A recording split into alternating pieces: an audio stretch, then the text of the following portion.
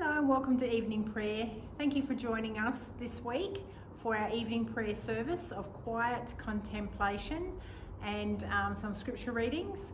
It only takes 10 minutes and there'll be some text for you on the screen or you can just sit back and listen and participate in that way. Open your heart to God's Holy Spirit. Let's begin.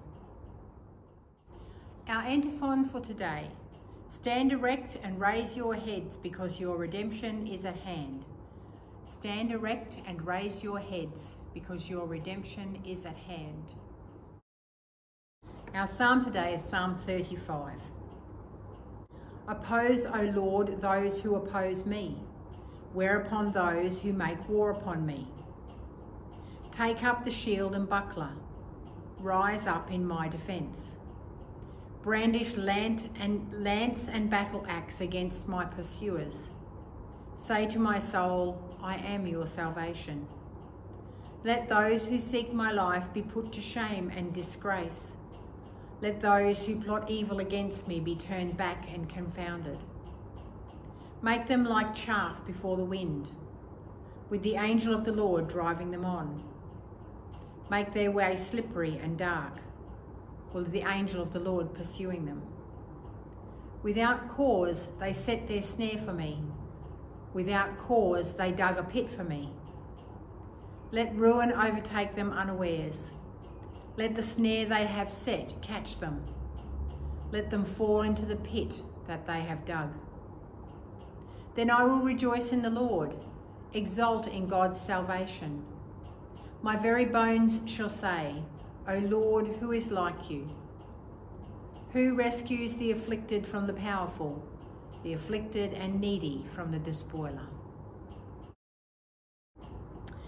Our reading today comes from the Gospel of Luke, chapter 17, verses 26 to 30, and then 32 to 33. Jesus said to his disciples, As it was in the days of Noah, so it will be in the day of the Son of Man. They were eating and drinking, marrying and giving in marriage up to the day that Noah entered the ark. And the flood came and destroyed them all. Similarly, it was as in the days of Lot. They were eating and drinking, buying, selling, planting and building. On the day when Lot left for Sodom, fire and brimstone rained from the sky to destroy them all. So it will be on the day the Son of Man is revealed. Remember the wife of Lot? Whoever seeks to preserve his life will lose it, but whoever loses it will save it. May your word live in us and bear much fruit to your glory. Why does Lot's wife look back? She longed for the wickedness of her past and it destroys her future. We are all aware of the sins of our past, the pain, failures and regrets for the actions of our past all linger in the shadows of our lives. If we focus on the light before us, those shadows can do us no harm. But if we look back and focus on the darkness of our past, we will not be able to see the light of our future. We are invited to live in light, in the light of salvation that Christ offers. Words to ponder. Our prayers. Light of the world, we turn to you in prayer and say, Hear us, O Christ. Light of the world, we turn to you in prayer and ask that you grant the church leaders the spirit of compassion. Hear us, O Christ. Light of the world, we turn to you in prayer and ask that you grant wisdom to government leaders, to church leaders, to all who govern or stand up front and lead. Hear us, O Christ. Light of the world, we turn to you in prayer and say, Grant relief and healing to those who suffer in body, mind, or spirit.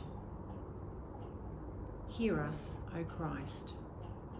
Light of the world, we turn to you in prayer and say, Grant freedom to those trapped by sin.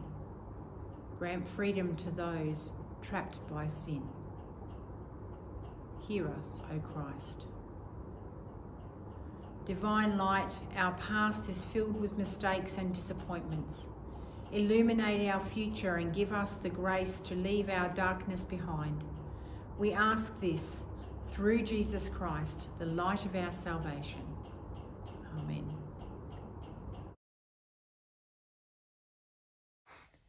Kyrie eleison, Christe eleison, Kyrie eleison. Father, hallowed be your name. Your kingdom come, your will be done, as in heaven, so on earth. Give us today our daily bread, and forgive us our sin, as we forgive those who sin against us. And lead us not into temptation, but deliver us from evil. For the kingdom, the power, and the glory are yours, both now and forever. Amen.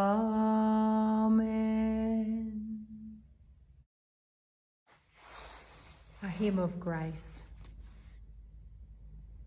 Now, Holy Spirit, make us one with God the Father and the Son. Be gracious to our bold request and flow throughout our mortal breast.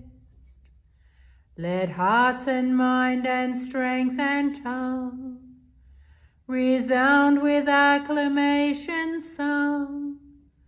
Let love flame up in ardent fire and kindle others' keen desire. Increase now, Father, grace begun, and you, the Father's equal Son, together with the Paraclete, will reign forever, love complete.